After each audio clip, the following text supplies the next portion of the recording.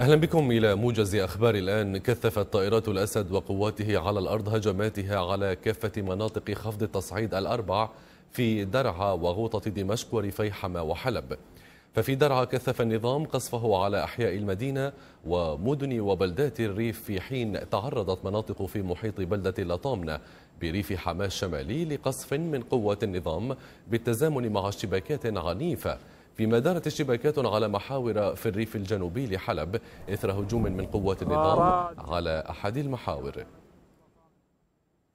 أعلنت قوات سوريا الديمقراطية مدعومة من التحالف الدولي رسميا سيطرتها بالكامل على سد البعث على نهر الفرات وغيرت اسمه إلى سد الحرية.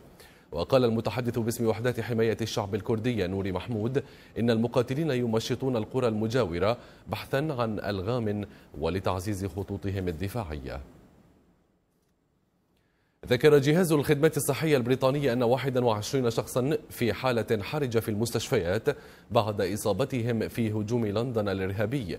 وطبقا لمصادر إعلامية فإن من بين 50 شخصا أصيبوا في الاعتداء فإن 36 شخصا لا يزالون يعالجون في المستشفيات فيما توجهت رئيسة الوزراء البريطانية تيريزا ماي إلى مستشفى كينغز كوليدج جنوب لندن لزيارة المرضى.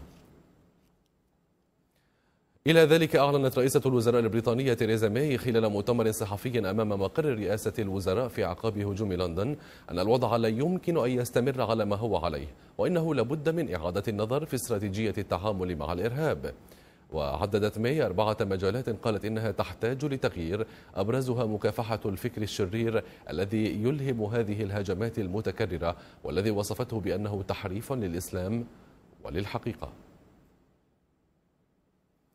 أكد وزير الخارجية المصري سامح شكري أن المباحثات التي أجراها مع نظيره السعودي تناولت العلاقات الثنائية وملف مكافحة الإرهاب مشيرا إلى أن هناك تنسيقا سعوديا مصريا أمنيا يشمل وقف تمويل الجماعات الإرهابية وكذلك الخطاب الديني المتشدد.